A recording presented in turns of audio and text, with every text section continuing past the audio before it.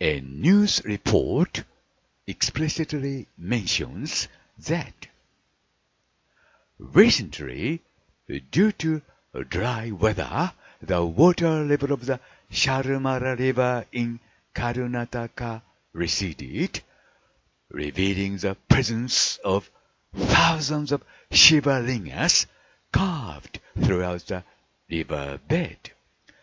Because of these uncountable carvings, the place gets the name. According to the news report, in July 2021, again in July 2021, thousands of strange stones are found in the riverbed of the Sharmara River, 14 kilometers from the Indian city of Karnataka.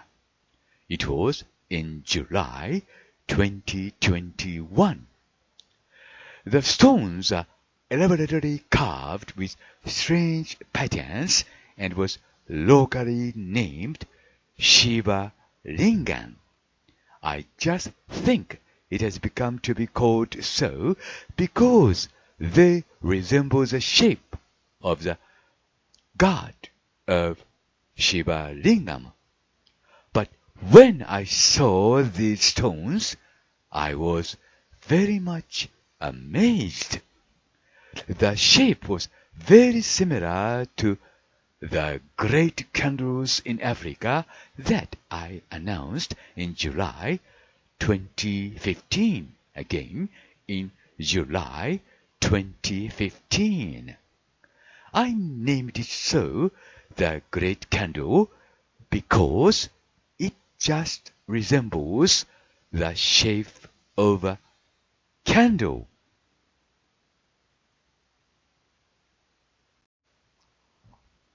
あるニュースレポートによれば、2021年、2021年7月、インドのカルナタ市から14キロ離れたシャルマラ川の川床から数千個もの奇妙な石が見つかりました。干ばつで川が干し上がったために、それらの石が川底から現れたというのです。2021年のことです。その石には奇妙な模様が聖地に彫刻されていましたが、現地ではシバリンガンと名付けられました。インドの神シバリンガムとその形が似ているところから、そのような名前が付けられたものと私、林博士は判断していますが、その彫刻された石を見て、私は大変驚きました。というのも、その形が私が2015年7月、繰り返します。2015年7月、つまりその6年前に発表したアフリカの巨大ろうそくと酷似していたからです。それはちょうどろうそくの形に似ていたので、私は巨大ろうそくと名付けました。広林 Hammam City, Japan, November the 14th, 2022.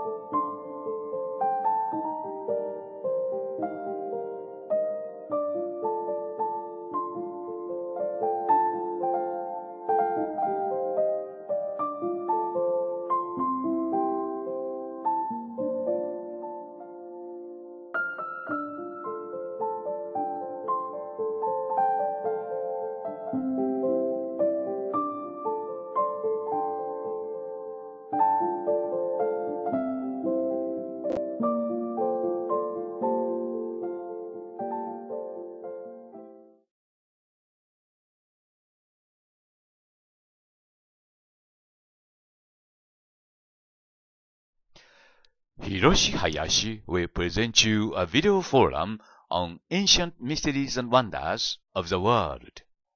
Today's story is about two candles in the Libya desert in Africa 今日の物語は、ともじさんが教えてくださったもう一本のろうそくの話です。アフリカのリビア砂漠にあるもう一本のろうそくです。で、ところで皆さんにはこんな経験はありませんか？何か大切なものを土の中に埋めておくのです。大切なもの、例えば宝物です。穴を掘り、宝物を入れ、そしてまた土をかぶせておく。が、それではその場所がわからなくなってしまいますね。それでどこかにその場所を示す目印、つまり標識を置いておきます。二方向からそれを置けば、その宝物のありかがわかります。まあそんな経験です。私は今日の謎解きをしながら、頭のどこかでそんな経験を思い出しました。近くの寺の境内でそれをしました。遠い遠い昔、私が子供だった頃のこと、私が子供だった頃の懐かしくも楽しい思い出です。アフリカのリビア砂漠には2本のろうそくがありました。で、まずその場所へ皆さんを案内いたします。この星印のところがそうなんですね。で、ここに、まあ、ろうそくがありました。という話なんですね。で、このろうそくの話については続くビデオの中で詳しく説明します。これはろうそくでした。トムジさんがそのように名付けられました。リビア砂漠のろうそくです。まあ、この丸の中に囲まれた奇妙な模様なんですけども、この模様はですね、まあ、縦方向といいますか、今のこの写真の中ではね、方向を示しています。で、この、まあ、この場合はですね、二つの上下に丸がありますね。それをつなぎますと、タッシル・ナジェーレとつながります。まあ、この辺り全体をですね、タッシル・ナジェール国立公園と呼ぶのだそうです。まあ、ともかくも広大な場所なんですけども、その一角に例の壁画があります。まあ、この線をですね、今の線をまっすぐ伸ばしますと、この黄色い線に沿ってですね、そしてタシル・ナジェールの中の、そしてその壁画へとやってきます。この経度緯度はですね、ユネスコの、まあ、公式の経度緯度です。で、これがタシル・ナジェールなんですね。で、このあたりに、まあ、その壁画があるというわけです。まあ、こうした壁画なんですね。で、この壁画なんですけどもね、まあ、明らかにエイリアン、宇宙人、宇宙からの来訪者ということになります。で、もう一本ですね、ともしさんが、まあ、リビア砂漠にろうそくを見つけてくださいました。で、先ほどのキャンドル A とします。これは続くビデオの中で詳しく説明します。そして中央がタシルナジェル。そしてキャンドル B ですね。で、この、まあ、こんなところにもこんなろうそくがあるよ、と、まあ、ともしさんが掲示板の方に書き込んでくださいました。で、早速調べてみましたが、驚きましたね。まあ、感激したと言った方がいいんでしょうかまあ、このタシル・ナジェール。その前に、まあ、タシル・ナジェールの場所を今もう一回示しておきますと、これがタシル・ナジェールです。まあ、今日の主役ということになりますね。で、ここには、まあ、前回も皆さんに紹介しましたけども、何やらと言いますか、まあ、遠回しな言い方はやめます。エイリアンが描かれています。人間ではありませんね。人間ではありませんね。人間ではありませんね。人間ではありませんね。まあ、これを人間というのであれば、よほど想像力の欠落した、まあ、楽しくない人ですね。明らかにエイリアンです。で、空にはこんなものも描かれています。そこでキャンドル B の方へ皆さんを案内します。で、これがタシル・ナジェールです。で、右の方に丸があるのが、これがキャンドル A ですね。それから同じ距離のところにキャンドル B があります。まあ、この場所ですね。はい。ともいさんはこれをキャンドル、まあ、ろうそくと名付けられました。もう一度ここを見てください。タシルナジェールです。そして左にあるのが、まあ、西ですね。キャンドル B です。で、まあ、東にある、右側にあるのはキャンドル A です。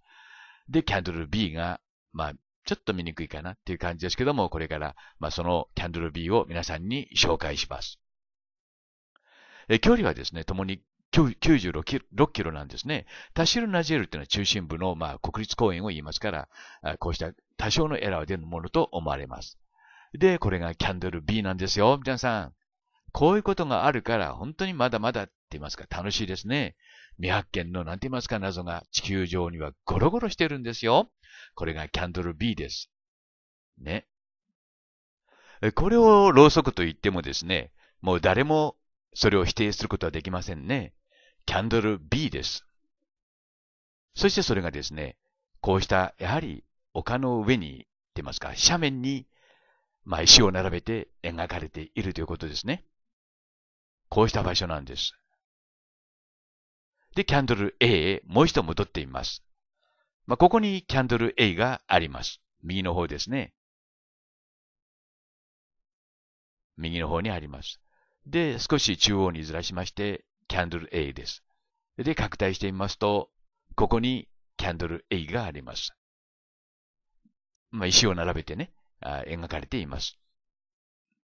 で、このキャンドル A、小さな丸と大きな丸がありますのでね、その間にこう2本の線がありますけども、それをつないでまっすぐ行きますと、いわゆるまあタシル、ナジェーレと、まあ壁画の方へとつながっていくわけです。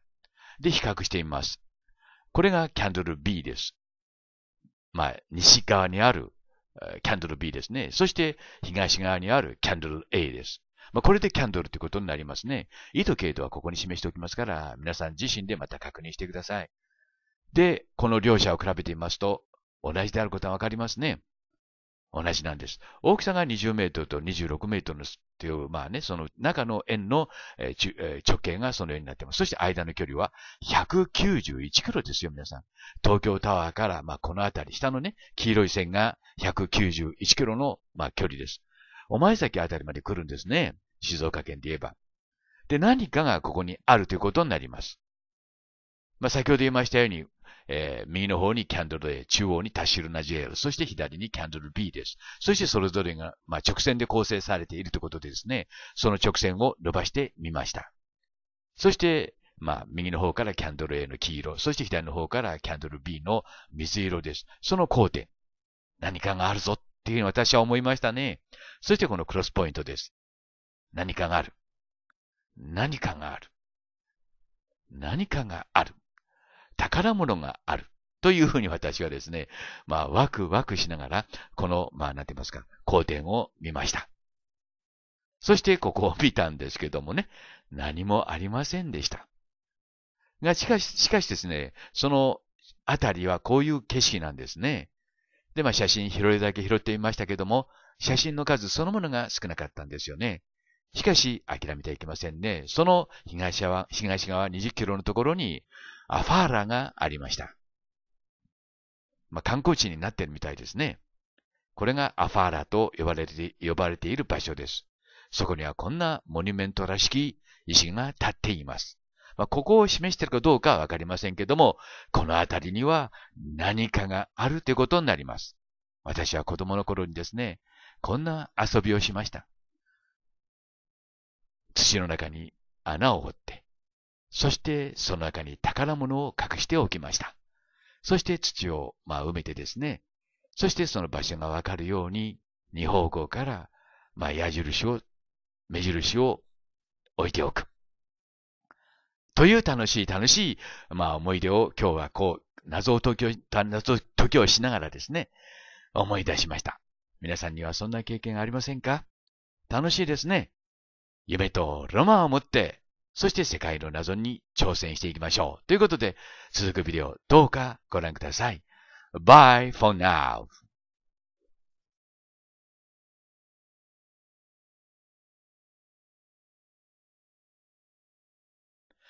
ヒロシハヤシ will present you a video forum on ancient mysteries and wonders of the world. Today's story is about strange circles named Solar Tomb near Tikobawin, Algeria, in Africa. What are they? What are they for? Here it's my pleasure to show you how I usually solve mysteries in my videos, which might help you understand my ideas and theories better. いつも私の動画をご覧くださりありがとうございます。今回で 動画もナンバー1650になります。で、今日は謎解きの手法というか、どのようにして私が謎を解いているか、その裏話をします。つまり、私が日頃どのようにして謎を解いているか、その手順、つまり、プロセスを話します。普通、謎を解き始めるときというのは、頭の中は空っぽです。謎というものはそういうものです。最初から答えが分かっていたら謎ではありません。だから、頭の中は空っぽです。大抵の場合、謎が何であるか分からない状態で謎を解き始めます。例えば今日、こんな情報が届きました。掲示板の方に雪を山川さんが書いてくださったものです。アフリカのリビア砂漠に奇妙な円形模様があるというのです。で、私はその写真を見たとき、かすかですが、脳みその奥で何かが光るのを感じました。直感です。何かあるぞ、とです。謎解きではその直感が重要です。ひらめきです。言うなれば、荒野を歩いていて、足元で小さな宝石を見つけるようなものですが、それが直感ということになります。今日はこの円形模様をテーマに謎解きに挑戦してみます。その情報には場所、つまり経度と緯度が書き添えてありました。その経度と緯度を手がかりにその場所を探します。が、その経度と緯度は公開写真がある場所のものでした。円形模様の石とは少しずれていました。が、その周辺を探すと、それは簡単に見つかりました。円形模様は石を並べて表現したものでした。しかも丘の中腹。その瞬間、かすかな光が今度はビビビッと光りました。頭の中で今まで調べてきた遺跡とつながったからです。で、最初にひらめいたのが、チリの地座にある地上絵です。地座の地上絵も同じように丘の中腹に石を並べて表現してあります。石といっても私が計算したところ直径が30センチから40センチ前後の大きさの石です。中にはもっと大きいものもあります。簡単に持ち運べるような石ではありません。いたずら説もありますが、つまり、いたずらで描けるような地上絵ではないということです。この地座の地上絵は方向を指示しています。つまり、絵の中の点と点をつなぐことで、それぞれの遺跡への方向を示しています。この手法は USA のブラシ・インタグリオス、サーペント・マウンド、ペルーのサンサの大食台などでも用いられています。それについての動画は別のところで紹介していますので、興味のある方はどうかそちらの方でご覧ください。この地座の地上絵と同じ手法で描かれた地上絵がその近くにもう一つあります。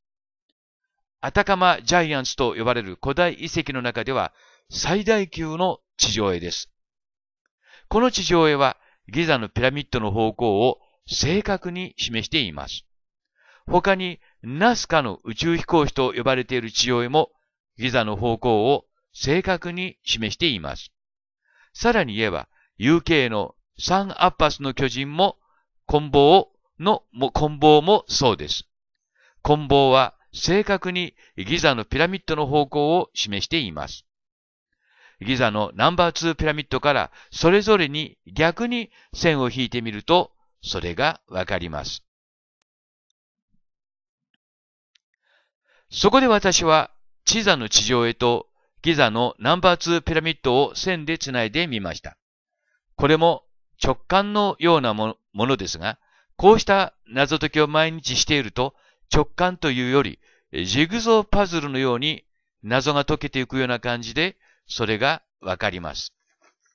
この、まあ、チップはこの辺りのものだ、とです。で、その時も、ああ、ギザだな、と私は思いました。それで、ギザと地座の地上絵を線で繋いでみました。で、ビンゴーです。地座とギザのナンバー2ピラミッドを繋いでみると、先のアフリカの円形模様がほぼその進捗線下にあることが分かりました。その瞬間です。あのワクワク感が起きてきました。というのも、私たちが神と呼ぶエイリアンは、決して無駄なことはしないからです。何か意味のあることをする。で、その意味は何か。ワクワク、ワクワク。このワクワク感が大切です。そのワクワク感が私を前へ前へと引っ張ってくれます。で、もう一度、リビア砂漠の円形模様に戻ってみました。確認のためです。というのも、こうした地上絵の中には、いたずらも多いからです。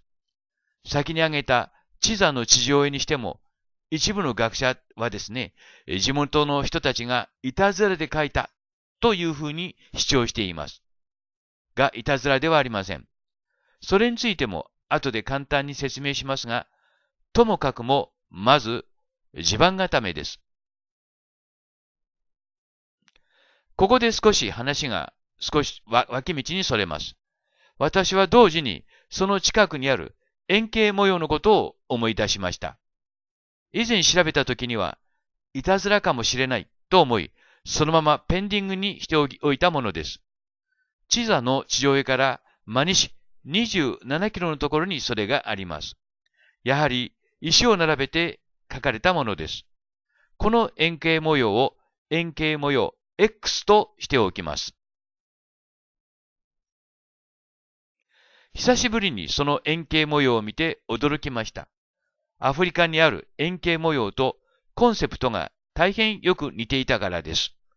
私が言うコンセプトというのは共通性のことを言います。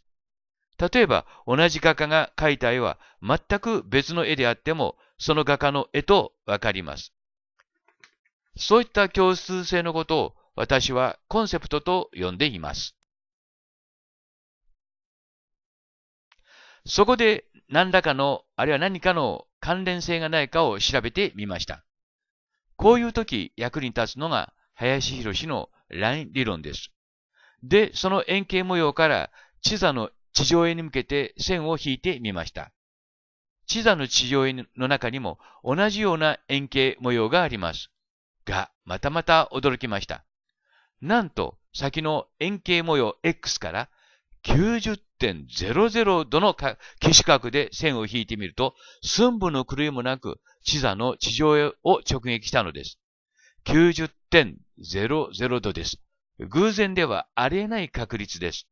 90.00です。またまたビンゴーです。つまり円形模様 X は地座の地上への方向を正確に示していたのです。なお、地座の地上絵はサラーデコイパサ山の方向を正確に示しています。もう一度地座の地上絵を見てください。左下に二重枠で囲まれた人物の絵がありますね。二重枠で囲まれているところに注意してください。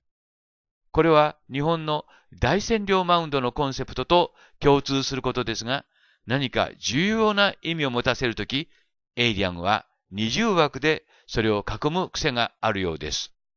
日本の大占領大占領マウンドも二重枠で囲まれています。つまり、それがエイリアンの共通した思考回路ということになります。言うなれば、これは思考の癖のようなものです。これは重要だよという意味です。この地座の中の二重枠で囲まれた人物は、正確にサラーデ・コイパサ山の方向を示しています。なお、ついでながら、ギザとアタカマのジャイオンとジャイアンツをつないで、その新直線下にサラーデ・コイパサ山があります。サラーデ・コイパサ山は火星の環境と大変よく似た環境ということでよく知られています。NASA の火星探査機の実験もこのサラーデコイパサでなされたと言います。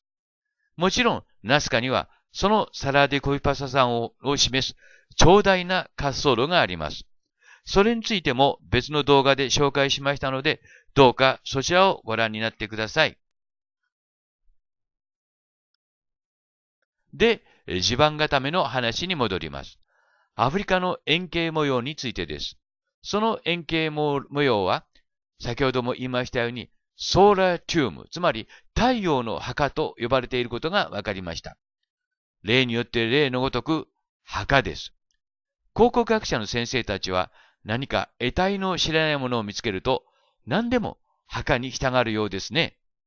が、その多くは墓ではなく、後の人間たちが墓として利用しただけだと私は考えています。先に言いました大占領マウンドもその中の一つです。それはともかくも少なくともいたずらではないと私は判断しました。直径は40メートルほど。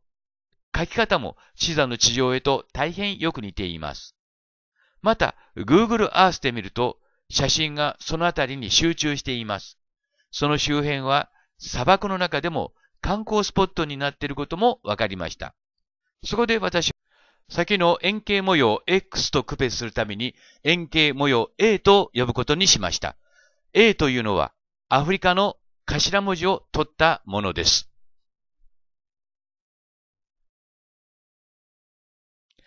円形模様 A、つまり円形模様アフリカはギザとチザの地上へ、もしくは円形模様 X とつないだほぼその新直線下にあります。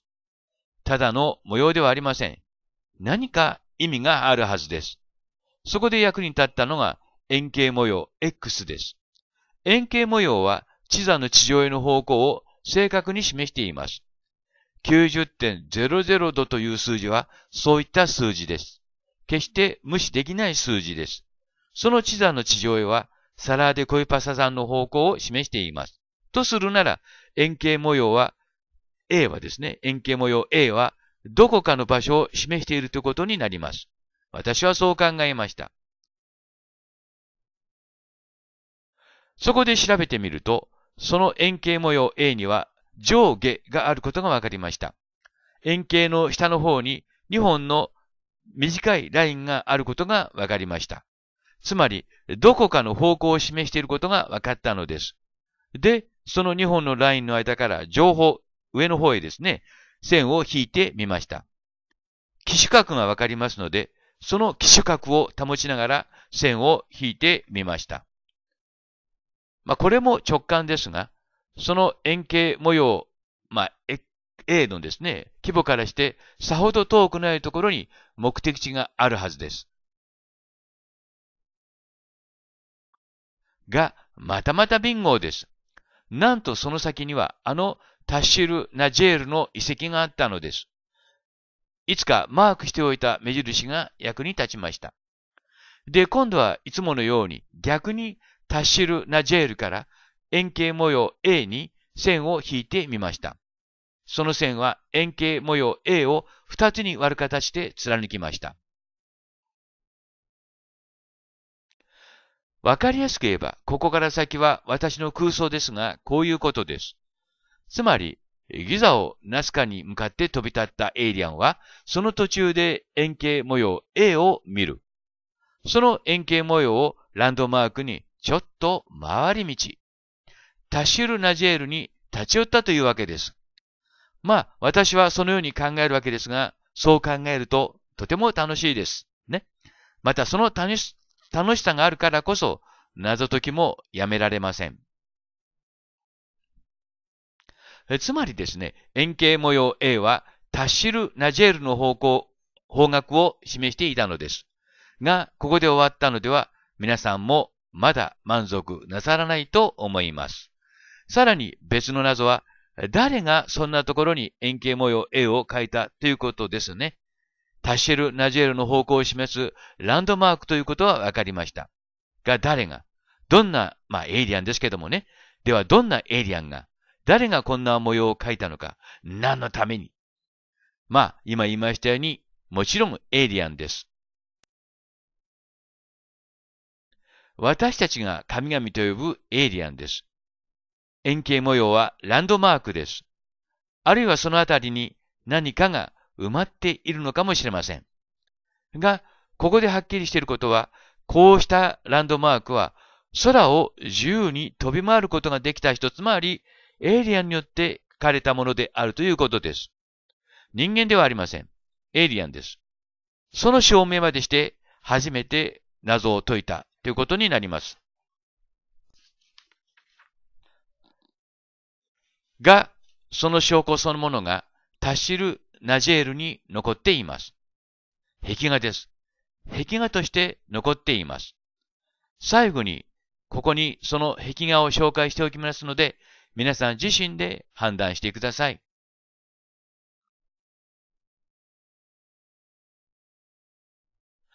いかがですか？この壁画を見てエイリアンだと思わない人はそれまで。この動画を否定する前にあなた自身の貧弱な空想力を疑ってみた方が良いのではというのは言い過ぎですね。わかっています。だからあのアインシュタインはこう書き残しているのです。大切なのは知識ではなく空想力だと。その空想力が私たちを未来、未知なるものに向かうさらなる原動力となります。ということで、こうして私の謎の点と線のがですね、それぞれが有機的につながっていきます。いかがですか？アフリカのリビア砂漠にある円形模様 A は、エイリアンの書き残したランドマークでした。ということになります。それがこの動画の結論ということになります。で、今日の謎解きはこれでおしまい。というか、謎解きの手法、つまりプロセスをそのまま皆さんにお見せしました。楽しんでいただけましたか？皆さんもどうか私のプロセスを参考に謎解きに挑戦してみてください。コツがあります。どんな些細なことでも良いのです。何かおかしいと感じたら、それが、まあ言うなれば宝石に例えるならば宝石の原石です。あとはそれを磨くようにして謎を解いていく。楽しいですよ。ということで、今日の話はこれでおしまい。それでは皆さん、バイ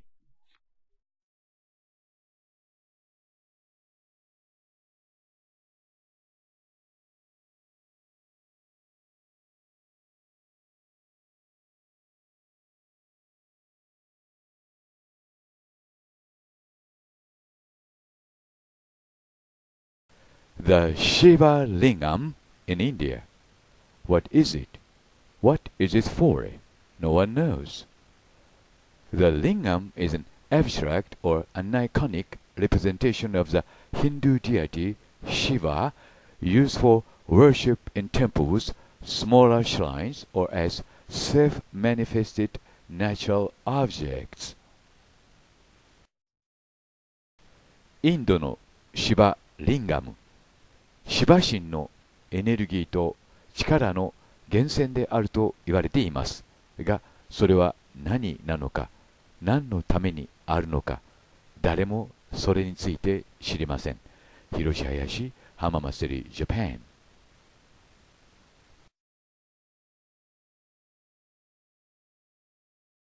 スティーブン・ M・ グリア博士は次長アン・アクノレジトの中でマーク・マッキャンドレッシュ氏について書いています。マーク・マッキャンドレッシュ氏によれば、アメリカ合衆国政府はすでに50年以上も前からほとんど無傷で墜落した UFO をもとに反重力推進装置を完成し、現在の今も実験を重ねているというのです。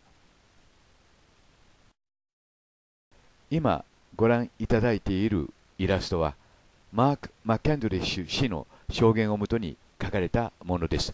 詳しくは17分50秒前後から報告いたします。で、この装置を使えば宇宙空間を光の速さ以上の速さで自由に飛び回ることができるというのです。その反重力推進装置とインドのシバ・リンガムの構造が大変よく似ていることに私は気がつきました。つまり、インドのシバ・リンガムは私たちが神と呼ぶエイリアンのクラフトではなかったかということです。なお、マーク・マッケンデル氏によれば、その反重力推進装置というのは驚くほど簡単な装置だそうです。それがどのようなものであれ、中心に円筒形の筒のようなものがある点に注意してください。これが反重力推進装置の特徴ということになります。さらに驚くべきことに、その反重力推進装置は完成していて、現在、軍事技術、つまり飛行機の推進方法として応用されているというのです。ここで注意していただきたいのは、この形は現在私たちが空飛ぶ円盤と呼んでいる UFO の基本形となっているという点です。そして中心には円筒形の筒のようなものがあるというコンセプトがインドのシバ・リンガムと共通しています。左上がマーク・マッケンデル氏の証言をもとに描かれたイラストです。右下がシバ・リンガムです。基本的には UFO というのは中央を中心にこのような、えー、反重力推進装置を備えているものと思われます。そういう点からもインドのシバ・リンガムは私たちが神と呼ぶエイリアンの乗り物ではなかったかと私林博はますます確信するようになりました。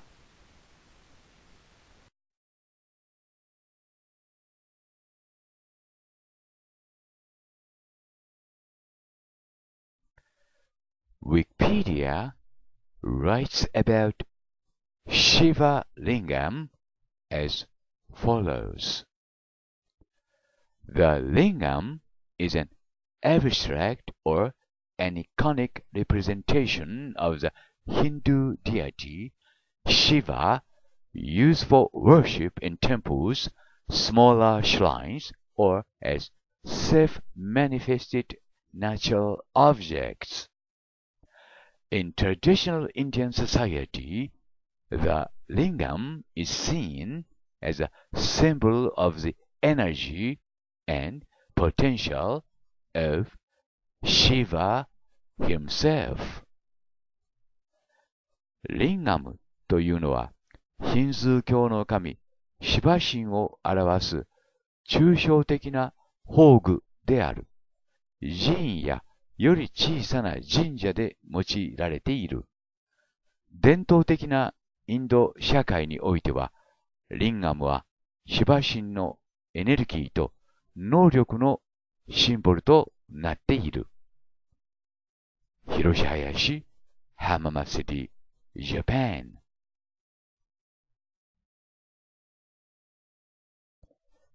イタリア在住のニコ・ジェラルディさんから報告が届いています。私の協力者としてイタリアからいろいろな情報を送っていただいています。まあ、その前に余計なことですけども、インドと日本。インドは大きいですね。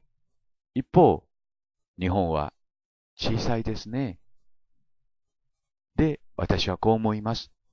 日本人よ、窓を開けて外の世界を見よう。ということで、ニコ・ジェラルディさんからの報告を紹介します。バチカンシティはシバのリンガムと関係があります。バチカンシティの中で発掘調査の過程で同様な石が発見されています。バチカンシティの美術館の中にリンガムが展示してあります。つまり、バチカンシティはシバと関係があります。で、そのリンガムについて調べてみました。ニコ・ジェラルディさんはですね、そのリンガムの形とバチカンシティの形が似ているのではないかと、まあ、考えておられるようです。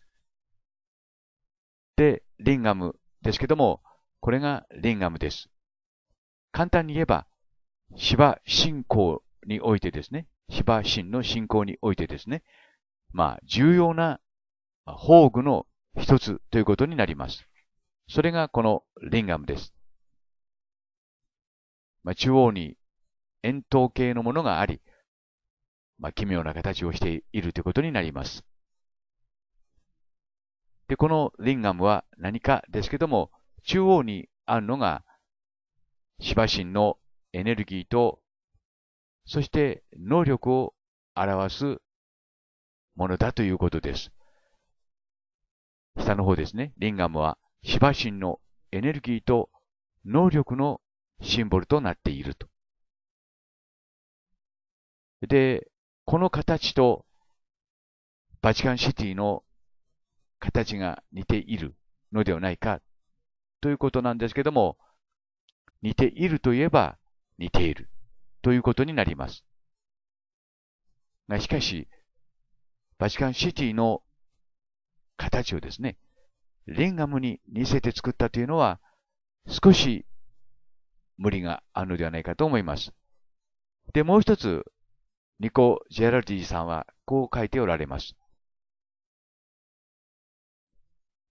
アフラ・マズダというのは、ブラマー、あるいはブラマー神のことだと思いませんかと。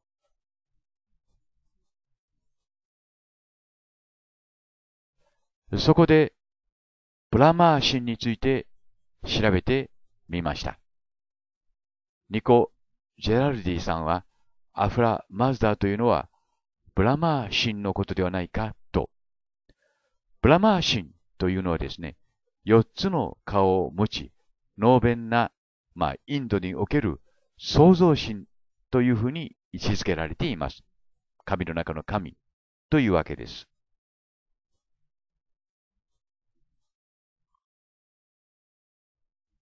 改めて検証してみます。シバ・リンガムについてですが、このシバ・リンガムに似せてバチカンシティが作られたのではないかという、まあ、ご意見なんですけども、ちょっと無理があるのではないのかなと思いますね。それは、まあ、横との連絡性があまりないということです。右がメッカカーバの古い敷地図です。で、中央が日本の大占領マウンドですね。そして左がバチカンの、まあ、空から見た様子ということになります。で、これらは私は王権リングをかたどったもの、すなわちここは神の土地であるということを示した形であると判断しています。こうしこの説をですね、ひっくり返すほど、芝、リンガムの形がですね、似ているという説は強くないということですね。で、そうした、まあ、この、なんて言いますか、王権リングというのは、全世界で見つかっているわけです。ですから、バチカンシティがですね、ヒンズー教のシバ神のリンガムを、あれ、リンガムに似せてですね、えー、いわゆる、まああ、バチカンシティを作ったという考えるのは、まあ、説得力が弱いということになります。えー、左下のようにですね、マヤの王もやはりリボンがついた丸いリングを身につけています。アンク十字もそうですね。まあ、こうして世界の文明はですね、相互に有機的につながっているということです。ヒンズー教のリンガムとバチカンシティの様子、形がですね、似ている。ことは似ているわけですけどもね。それでもってそうだというのに、言うほども言うのには、やや、まあ根拠が弱いように思います。次に、ニコ・ジェラルディさんはですね、インドのブラーマー神がですね、アフラ・マズダーのことではないかと教えてくださいました。アフラというのは神という意味です。マズダーというのは最も賢いという意味です。当時、たくさんのアフラー、つまり神がいました。で、その中でも最も賢い神をアフラ・マズダーとしてゾラスター教が生まれたということになります。が、神々というのは、多くの神々が、それぞれ有機的につながっていると、私、林博は考えています。例えば、イスラム教では、アラーフ・アクバルと言います。最も偉大な神という意味です。そのアラーフとアフラー、マザーのアフラは音が同じです。音の組み替えが違うだけですね。ア、ラ、フ。そして、アフラ、マザーの方は、ア、フ、ラ。となります。つまり神は一人だったと私は判断しています。音を並び替えているだけということですね。で、ラといえば、言うまでもなく、エジプトの最高神ということになります。つまり、神は一人ということになります。ここで計算しているのは、このようにですね、三つの音が同じになる確率、日本語の50音で考えますと、12万5000分の1ということになります。つまり、ありえない確率ということになります。つまり、偶然ではないということになります。まあ、こういうところからですね、私はアフラ・マザーとアラーフ・アクバルのアラーフは同じ神と判断しました。そして、先ほども言いましたように、エジプトの最高神のラーとつながっていきます。つまり、皆、同じ一人の神ということになります。またそう考えることは大変合理的かと思います。で、私はむしろ、シバ・リンガムがですね、UFO に見えて仕方ないのです。大変奇妙な形ですね。下の台座を外してみると、それはまさしく UFO の形ということになります。まあ、ここからはですね、私たち自身の感覚的な判断ということになります。UFO とまあ考えるかですね。あるいは別のものと考えるかですけども、インドにはビマーナ型の UFO が残っています。そういうことも考え合わせますとですね、当時の人たちがですね、シバ神が乗っていた UFO をこのように表したと考えても何らおかしくないと思います。で、調べてみるとですね、NASA から漏れ出たブラックナイトと呼ばれている UFO の形とよく似ていると判断しました。もちろん、上のですね、リンガムと下のブラックナイトの間にはですね、年月で数千年の時が流れていますから、まあそれなりに違うということになりますけども、この円筒形の部分は、ひょっとしたら推進装置の一部ではないかと思います。それをインドの人たちがですね、シバ神の、まあ、宝具として表現したのではないかと思うわけです。あくまでも思うという範囲の話です。まあ、こうした例は、例えば、ビマーナでもありますよね。UFO のビマーナと、そしてその形をかたどった寺院のビマーナの関係と似ていると思います。そして、もう一点。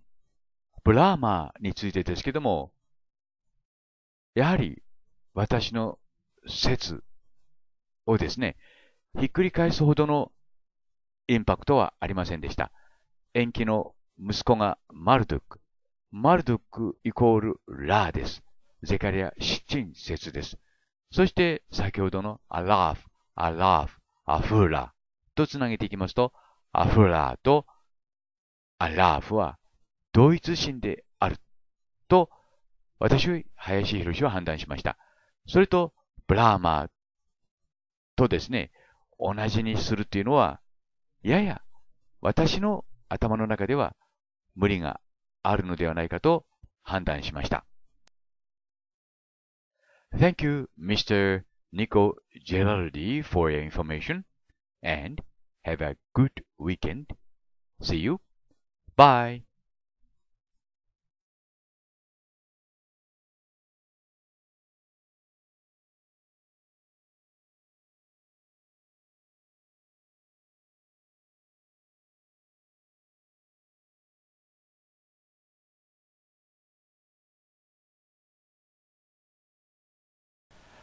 The ufology site writes about Mr.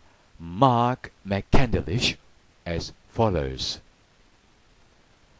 Mark McCandlish is an accomplished aerospace illustrator and has worked for many of the top aerospace corporations in the United States.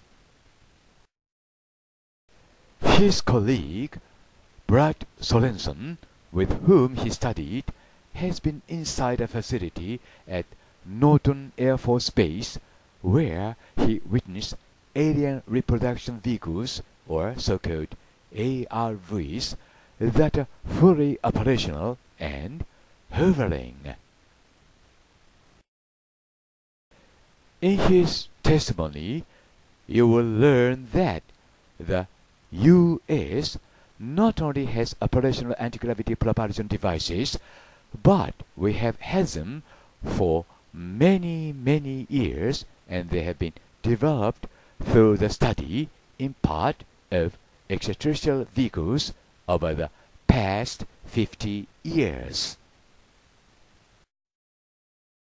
In addition, we have the drawing from aerospace inventor Brad Sorensen of the devices that he saw, as well as a schematic of one of these alien reproduction vehicles in some remarkable detail.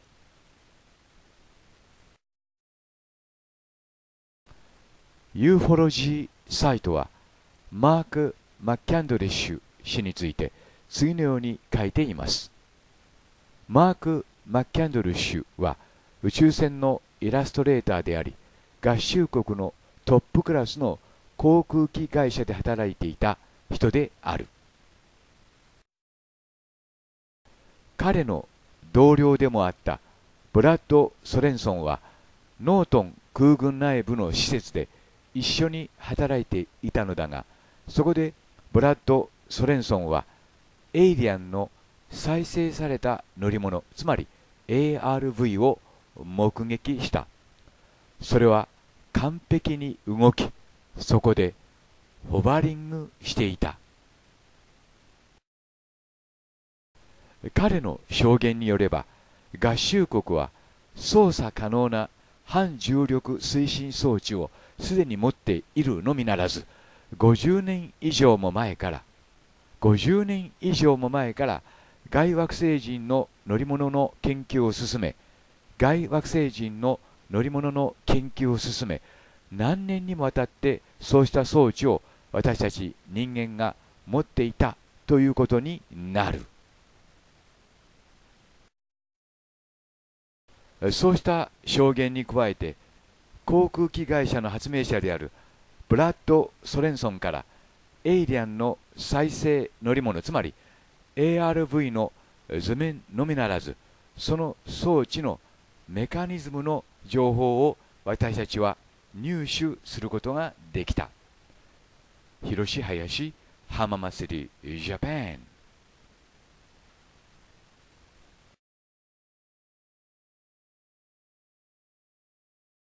事の発端はスティーブン・ M・ グリア博士のアン・アクノロジトという本の中でマーク・マッキャンドリッシュ氏の証言が紹介されていたことによります、えー、スティーブン・ M・ グリア博士といえばこの世界では第一人者です。で画面を見ながら説明します。ここに今お見せしているのがですねマーク・マッケンドル氏がですねイラスト化したいわゆる外惑星人のベークルつまり乗り物ということになります。説明によれば実に簡単な構造でできているそうです。そしてこの装置を使えば宇宙をですね光の速さ以上の速度で航行することができるというのです。そしてマーク・マッケンドル氏はですねノートン空軍基地でこれらの装置がすでに完成していてホバリングしているところまで目撃したというのです。そしてその装置がさらに開発されてこのような航空機も完成しているというのです、まあ、あとはマーク・マッケンドル氏氏の証言。そしてスティーブン・ M・ グリア博士の証言を信用するかしないかという問題に行き着くのではないでしょうか後の判断は皆さんにお任せします。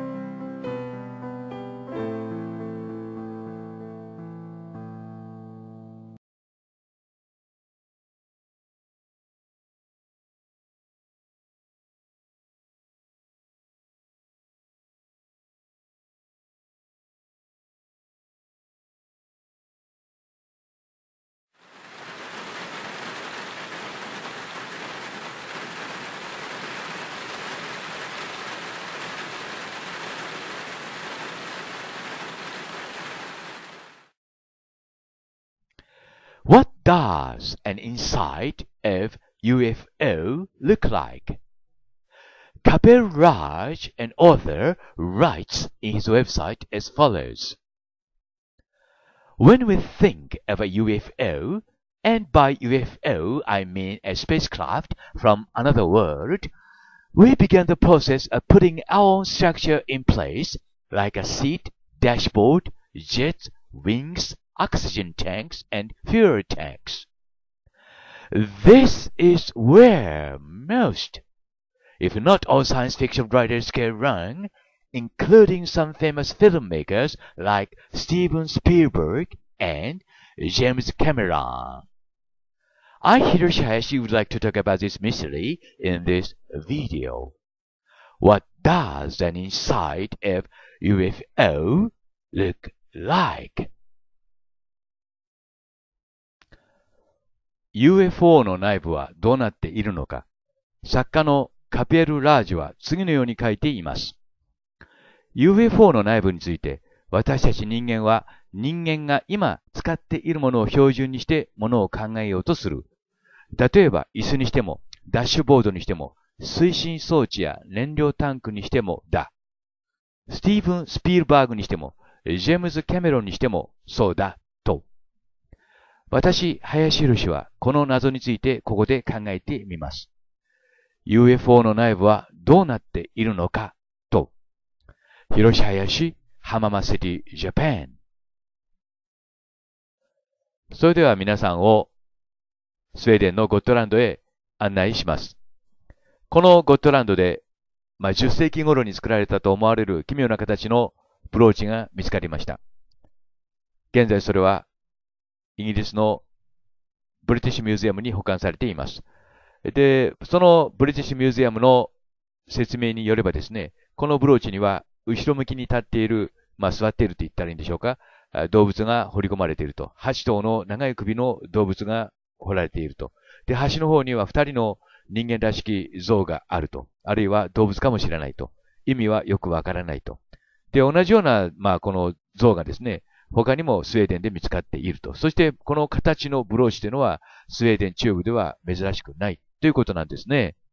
で、最初に、えカピ、カピエル・ラージュさんの言葉を引用しましたけども、人間というのはですね、まあ、例えば UFO を考えるときに、現在私たちが使っている、まあ、ものをですね、標準にして UFO の内部をいろいろ考えたりすると。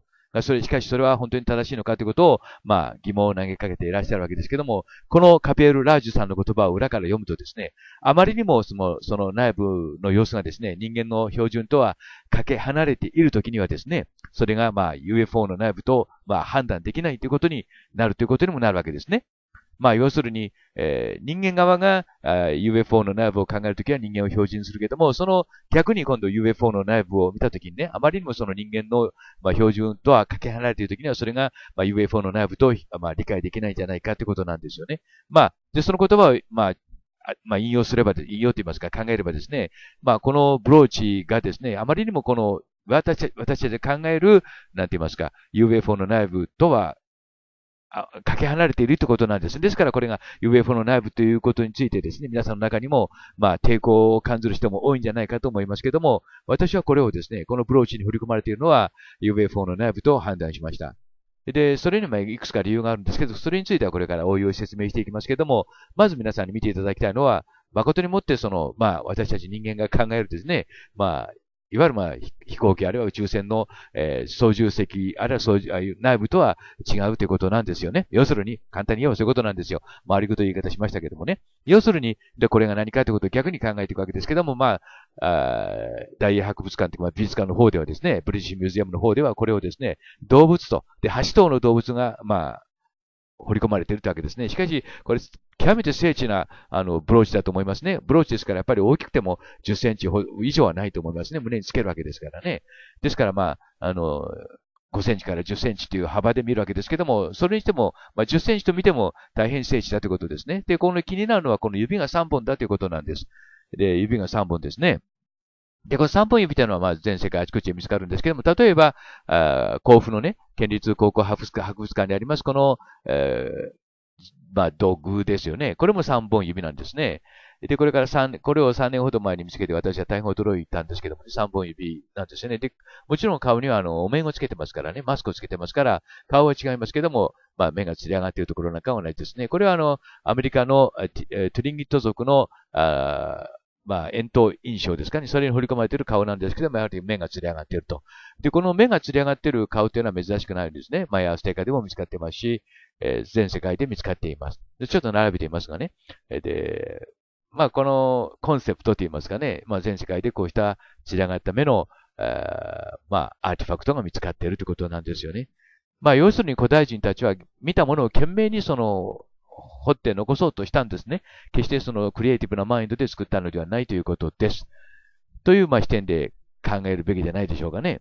えー、このようにま共通したそのアーティファクトが全世界で見つかっているということは、まあ、その証拠の一つと言いますかね、根拠の一つになるわけですけども、いかがでしょうか。で、その中の、この中で特に今似てる今の、あの、見せし、お見せしましたのが、あの目が釣り上がって、そしてそのゴットランドで見つかったブローチの中に振り込まれているその像と似ていると私は判断しています。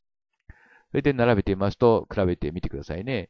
で、まあ、これが、あの、マスクをかぶってるかどうかということはわかりませんけども、まあ、同じような、まあ、顔をしていると。まあ、そういうことなんです。ですから、これは、まあ、あの、人間というのはちょっと無理がある。三本指で、えー、なおかつ、まあ、このような顔をしていると。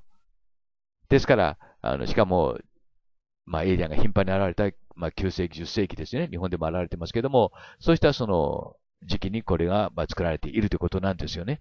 まあ、そうして、まあ、状況証拠を固めていくんですけど、これが、まあ、あの、動物であり、ということ、動物であると判断するのはちょっと無理があるんじゃないかということなんですね。となると、これは UFO の内部であるということになるのではないでしょうか。というふうに私は判断しました。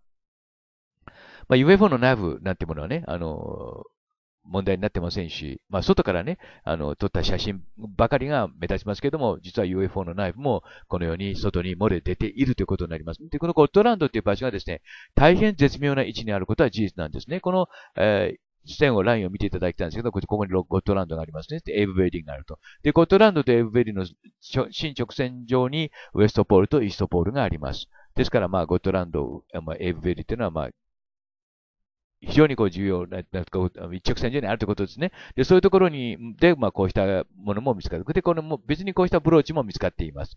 で、これはまあ、私は UFO と判断していますがね。あの、頭の部分はこれはまた別の意味がありますけども、まあ、ともかくも全体として窓のついた UFO ということになるのではないでしょうか。で、これと、まあ、ちょうどね、楕円形と言いますか、形も似てますかね。で、私はまあこうして、あの、二つ合わせてみると、まさに UFO の外、外と内部ということになるというふうには判断したわけです。で、まあ、どうお考えになるかわかりませんけども、まあこれが私の林博士の考える、まあ UFO の内部ということになるわけです。まあ、あまりにもね、あの、私たち人間の常識と離れているがためにね、なかなか信じがたいんですけど、それは逆に言えばですね、えー、カペル・ラージュさんが言ってるように、ああの、逆に UFO の内部を考えるときには、人間っぽいものを考えてしまうということですね。まあ、ちょっとご覧いただきましたけども、シートベルトもついてるけども、ちょっと変わってますね。胸にかけるんじゃなくて手にこうはめてるって感じですね。で、中央には、やはりこう推進装置のものがあって、これはあの長い首の動物ではなくてですね、何かしらのコントロールバーのような気がします。それも、これも動物ではなくて、まあ、椅子と言いますかね、椅子というかな、わかりませんけども、まあ、別の目的のものではないかと思います。動物と考えるのは無理ってことになるわけですね。要するに、まあ、イエスかイエスでないかということになってくるわけですけども、動物か動物でないか、あるいはい、わゆるまあ、いわゆるね、人間、エイリアンかエイリアンでないかということになってくるわけですけどもね。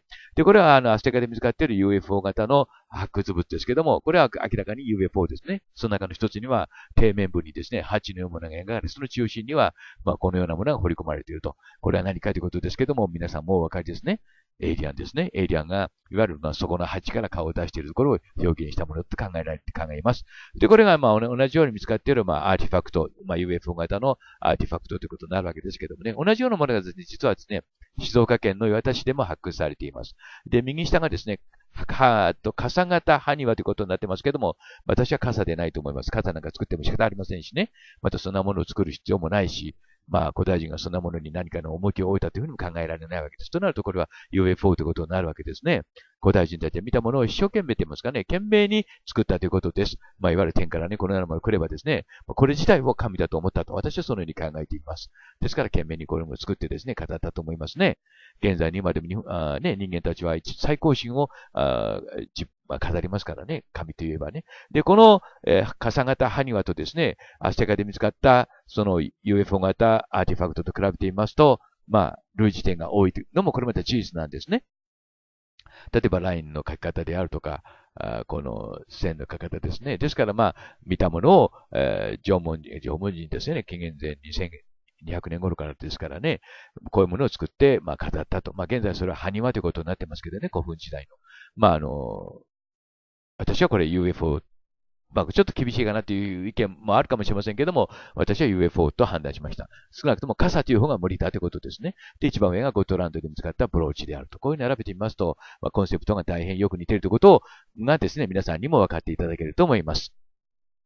もうこういう形でですね、まあ連続して繋がっていくわけですね。これがまあゴットランドで見つかったブローチ。そして、えー、冒頭で見せました、あの、奇妙なね、あの、エイリアンが2人、2匹って言ったらいいのかな？乗ってる、えー、乗り物も、まあ、そして連続性を持って繋がっていくということです。で、これはですね、北海道で、あの、目撃された UFO というふうに私は理解しています。まあ、これをですね、えー、北海道の元新聞記者のあ、報道記者の方が届けてくださいました。で、これがマヤのアーティファクトであると。まあ、こういうふうに繋がっていくわけですね。で、その内部の様子の掘り込まれたブローチも同時に見つかっていると。同じ場所でゴットランドで見つかっているということですね。で、そのゴットランドは、あの、エイブベリーと繋いだ直線上にあるということですね。こうしてこの状況証拠が固まっていくわけです。で、まあ、結論としては、これは、私はエイリアンの乗り物、いわゆるカーフトの、いわゆる UFO ですね、の内部の、内部を聖地に掘り込んだものと判断しました。いかがでしょうか。まあ、この床なんかの、作り方は、まあ、ごちゃごちゃとこうしてますよね。まあ、繰り返しになりますけども、人間が、まあ、UFO の内部として描く、まあ、様子とはまるで違う。違うがゆえに、これが UFO の内部とは理解できないということにもなるのではないでしょうか。まあ、これだけのものをね、放り込むっていうのはやはり大変な作業だったと思いますよ。まあ、こうしてね、あの、まあ、三角座りしている、えー、エイリアンらしき、えー、人物像も掘り込まれていると。まあ、これは、これ、これも椅子か何かだと思いますけどもね、これ少なくとも動物、アニマルというね、あの、説明書にはアニマルと書いてありますけども、アニマルというにはちょっと無理があるんじゃないかなと思いますね。で、三本指であると。で、これはあの、日本で見つかったあの、金印ですね。あの、福岡県で見つかっている金印を上から見ると同じ顔が浮かび上がってくるんですよ。まあ、それともかくとして、それは金印のところで説明しました。で、こういったものが見つかってきたと。で、一番近いと言いますから、いろんなあの想像図などが書かれてますけど、私その中で3枚選んでいました。これはあの、芸術家って言いますか、アーティストが書いたああの UFO の内部、UFO か宇宙宇宙船と言ったらいいのかもしれませんけども、様子ですけども、まあ、コンセプトって言いますかね、漢字が似てるということで、最後に皆さんに紹介しました。あいかがでしょうか多分こんな感じじゃないかなと思いますね。はい。ということで、えー、今日のこの動画は終わります。皆さんに UFO の内部を、まあ、見ていただいたというよりも想像していただきました。Bye for now.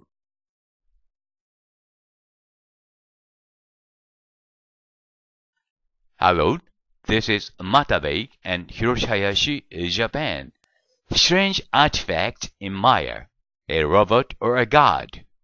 Here in this video, I would like to show you many strange artifacts discovered in Maya. and this is one of them which Matabe-san, a friend of mine, lets me know. Matabe-san asks me if this is a robot or not, but I never be surprised if someone told me that this is a robot in Maya. It may be, though I can't definitely say it is so since there is no evidence to prove it but we can enjoy a sort of fantasy, and it is more often enjoyable to think it is a robot in Maya than to think it is not. To be correct or not to be correct is not so much important in many cases when we are examining ancient history as independent thinkers.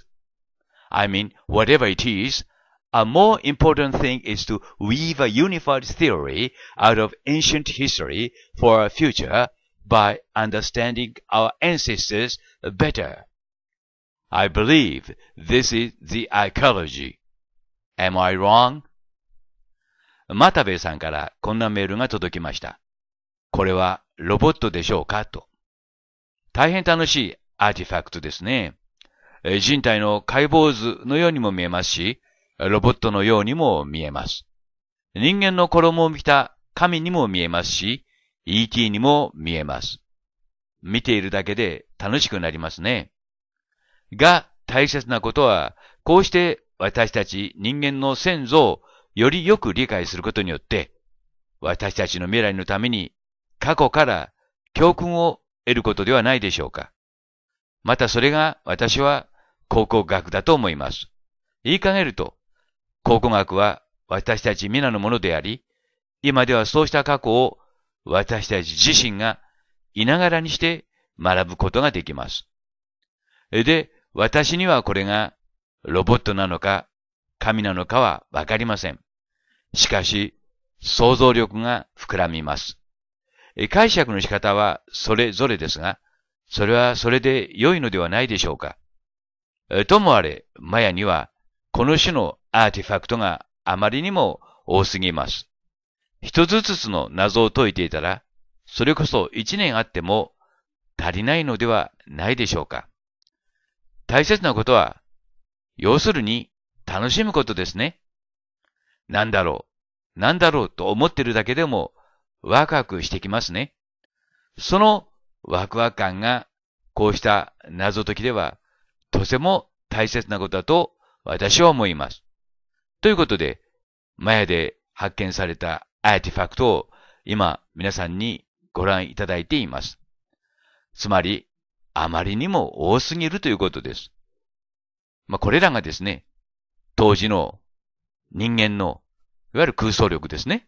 イマジネーションだけでできたものと考えるのは、私は無理があると思います。縄文、土器、土偶もそうですけども、古代の人々は逆にですよ。未来の私たちのような人間に何かを伝えようとして、懸命に、懸命に見たものを作ったと。私はそう考えています。まあそうしたアーティファクトからですね、何を学ぶかは、実は私たち自身の問題だということです。ということで続くビデオ、少し前に作ったものですけども、Doka, Goran Kudasai. Thank you very much and bye for now.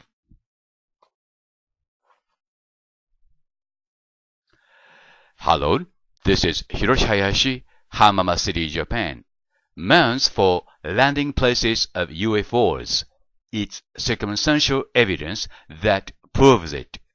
Mounts or so-called tomb mounds in Japan are not mounds for tombs but landing places for UFOs.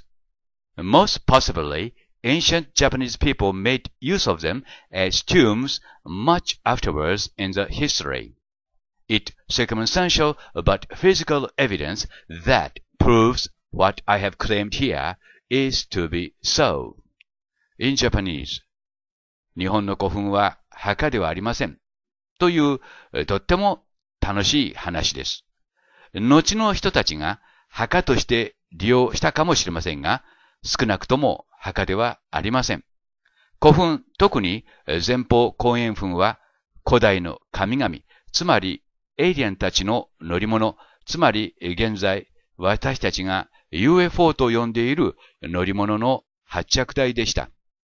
そのことをこのビデオの中で状況証拠を積み重ねながら証明します。まず最初に UFO という言葉が一般化する前は、私たちが UFO と現在呼んでいるものは、亀と呼ばれていたと私は考えています。現在、全国の各地の神社や寺で亀が祀られているのも、その流れの中にあると私は考えています。で、その証拠がメキシコのマヤ遺跡の中から出てきました。で、これがそれです。えー、これはあの、メキシコのマヤ遺跡で、まあ、発掘されたアーティファクトですね。円形の物体の上に人間らしき人が、まあ、乗っています。まあ、操縦していると言ったら正しいのでしょうか。で、右の方を見ますと、どうも頭のようにも見えるんですね。で、亀にも似てると。で、このコンセプトが日本の亀信仰とつながっているのではないかと私は考えています。で、こうした、まあ、亀信仰がですね、まあ、神社や寺に残っている。ということなんですね。が、様子がどうもおかしいんですね。中には亀らしき、亀らしい亀もいますけども、まあ、こうして信仰されている亀は耳があって、まあ、口があって、歯があると。まあ、そういった雰囲気なんですね。で、これなんか特にそうですけども、亀亀の上にですね、神様が座っている。あるいは菩薩が立っている。ということなんですね。ということから、私は昔の人は UFO を見たときにですね、亀、亀と呼んでいたのではないかと思います。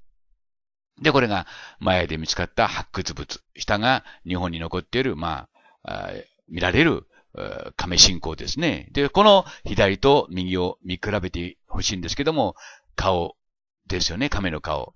そしてこの操縦の仕方といいますか、乗っている様子が大変よく似ています。そしてこの作り方のコンセプトまで似ていますから、まあ偶然といえば偶然ですけども、それに耳らしきものも表現されています。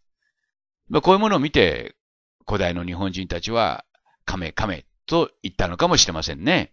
あくまでもその可能性があるということです。で、日本には亀という名前のつく地名、町、市がたくさん残っています。これは宮城県の登米市です。まあ今まで縁のあったところをいくつか選んでみました。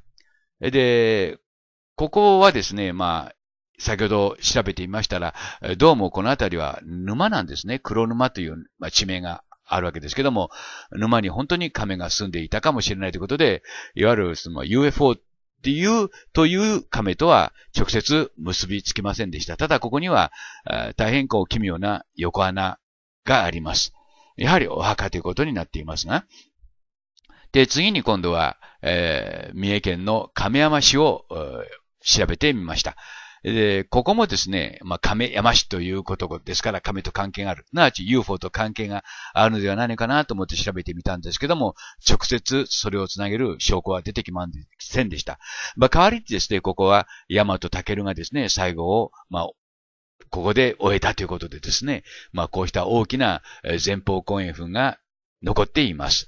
まあそういったゆかりのある地だということですね。で、まあここも調べてみましたら大きな昔沼があってね、渡来人が亀を、まあ、あの、連れてきたと。だから亀という名前がついたというふうにも言われています。これが大和武のその像ですね。で、もう一つ、京都に亀岡市というのがあります。で、ここも調べてみましたが、やはり UFO と直接つながるような、まあ話、証拠っていうのは出てきませんでした。まあそれは無理もないんですね。まあそうした証拠が、でもそれ以前の話ですからね。UFO を見てカメカメと言っていたのはその以前の話ですから、そうした証拠が、まあないからといって、まあそうでないとも言えないわけですよね。そして、まあこれが、あ広島の脳が高知にあります、まあ、農学高知のことを亀ヶ丘って言うんだそうですね。これはつい先週調べたので、まあ、ついでに取り上げてみました。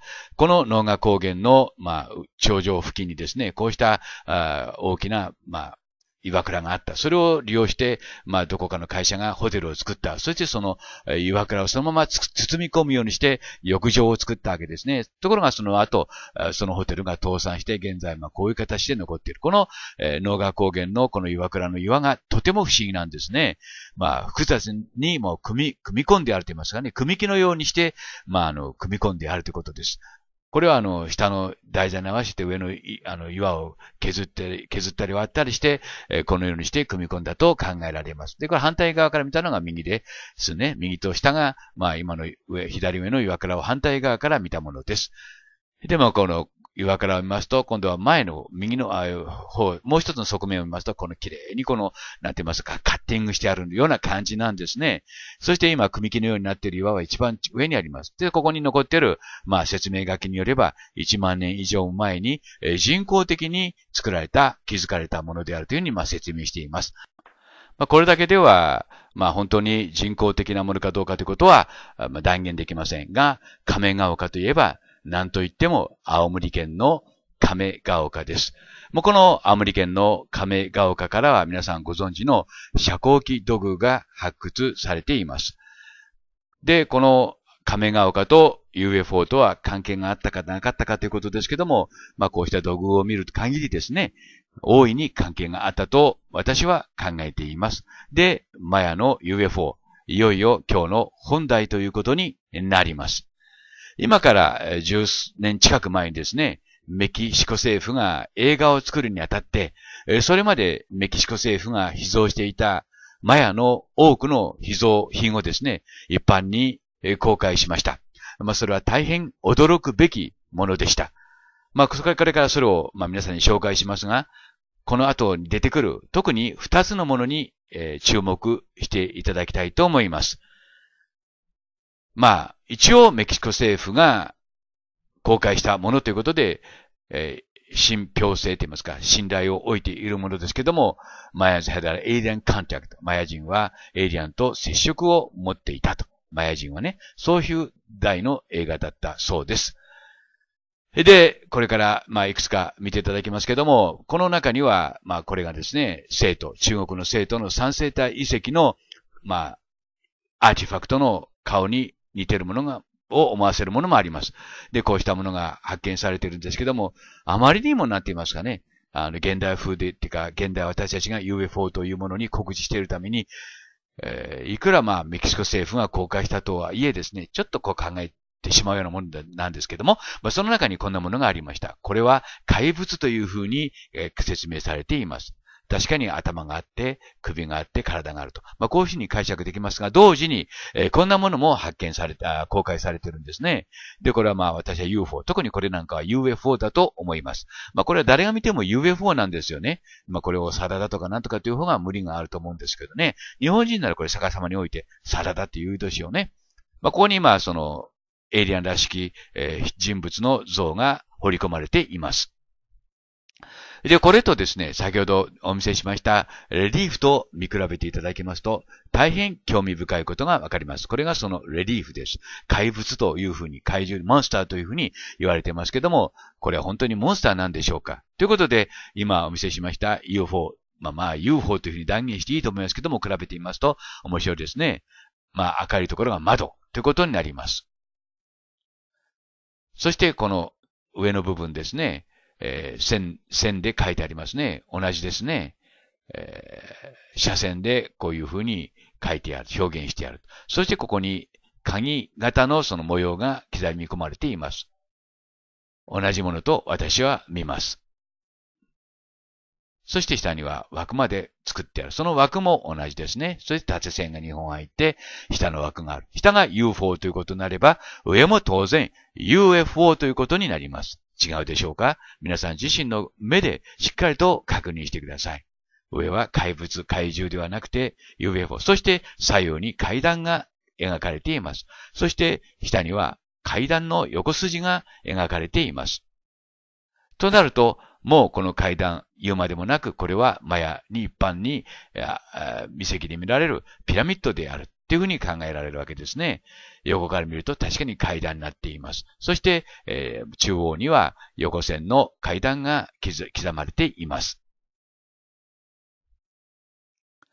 で、これは私は、まあ、この二つのことからですね、これはピラミッドの上に乗っている UFO と判断しました。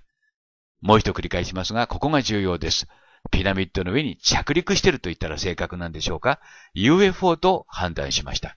左右に階段、そして中央に階段があるということですね。これはチェチェンイッツァの、あの、ピラミッドです。91段あるんですよ。まあ、ともかくもこのピラミッドの上に UFO が着陸したということになります。いかがでしょうか？となると、この、まあ、ピラミッドは、UFO の発着台だということになります。で、着陸台としてのピラミッドですけども、その前に、まあ、もう一度、その、話を進める前に、もう一度確認しておいてくださいね。ここが今日のポイントです。上はレリーフです。下は UFO です。その、それが描かれたレリーフがある。そして下がですね、これがコパンのピラミッドですけども、まあこれ上から見たとこれはまあ日本の前方後円墳ですね、同じコンセプトで繋がっていると考えるのは自然だということですね。まあ、まさに状況証拠ということになります。で、ちょっと寄り道しますけども、空から見たランドマークの話をしておきたいと思います。これはティオティワカンの月の塔です。その月の塔を上から見るとこのように見えます。ランドマークなんですね。つまり上から見た形を前提として作られているということですね。ギザのピラミッドにしても光です。そしてもっとはっきりしているのが、ボロブドゥールのピラミッドです。上から見ると、まるで的当ての的のように見えるところに注意してください。こうして、まあ、空を飛んでいるエイリアンたちは地上を見ながら、えー、自分たちの目標を定めたというわけです。で、コパンの、これは、あの、ピラミッドです。そして上から見ると、やはりこのように見えます。的当ての的のように見えますね。日本の前方後円墳もそうです。横から見たのでは何が何だかさっぱりわかりませんね。しかし上から見るとこのようなしっかりとした形で現れます。つまり上から見た見ることを前提として作られているということですね。そして話を戻しますけども、前のこの遺跡にに発掘物ですね。これは、ピラミッドの上に着陸している UFO ということになります。ということを考えますと、世界に残るこうした、まあ、遺跡はですね、UFO の、まあ、発着台だと考えるのが自然だと思います。すなわち、空から見た、見ることを前提として作られたものだということですね。ですから古代の神人たちは、わあ亀だ亀だ亀だ楽しいですね。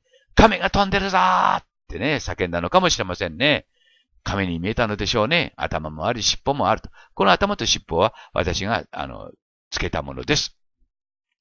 そして、下の、まあ、左下の、これが、まあ、マヤで見つかった像。それと同じものが右にありますね。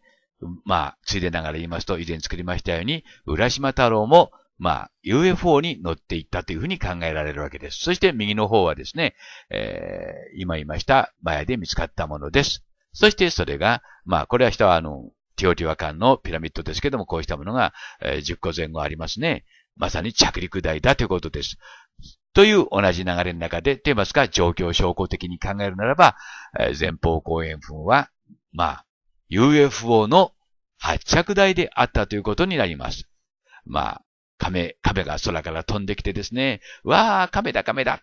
で、亀がゆっくりと前方後円墳の上に着陸しました。楽しいですね。その、まあ、コンセプトが、現在のヘリポートと、まあ、同じとは言いませんけども、つながっているということですね。ということで、まあ、楽しい話をしました。いかがですか？皆さんも夢を持って古代の謎解きに挑戦してくださいと同時に、ここまでお聞きくださいまして、ありがとうございました。これからもよろしくお願いいたします。心からお礼申し上げます。ありがとうございました。バイ。